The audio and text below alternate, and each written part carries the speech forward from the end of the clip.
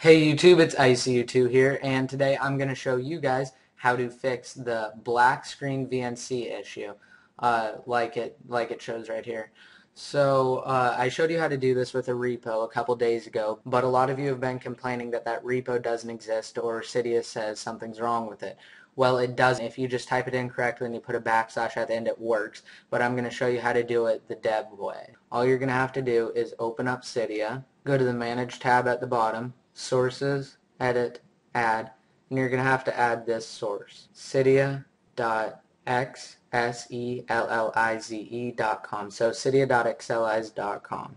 And then once you've added that source, go into it, and you're going to be looking for iFile. So go to the I section, scroll down, and get iFile right there. Install, confirm, and then I'll be back once it's finished.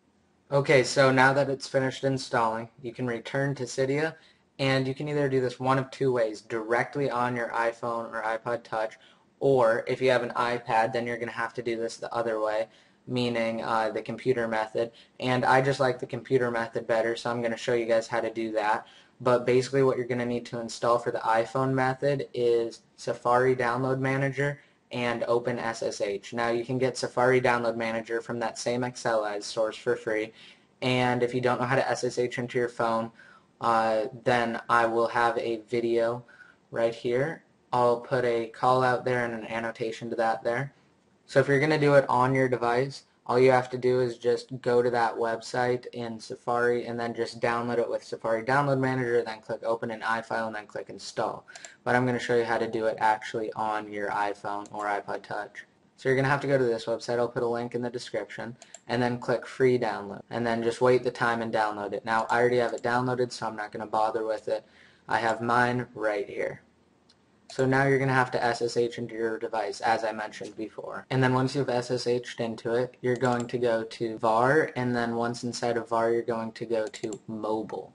And then all you have to do is just take that file that I provided you guys with and drag it and then drop it. And you can go back to your device and then go to iFile. So unfortunately my iFile kept quitting so I had to get it from a different source. Now I'll put two other sources that you can get it from and call out. So I'll put one up here and one down here and they'll also be in the video description. So just check those out if uh, the one from Xsellize doesn't work for you guys as well. So you're going to go to that same directory once in iFile the var one and then inside of var you're going to go to mobile and then just find uh, the .deb file it's right there and then just click on it and then click installer and then let it install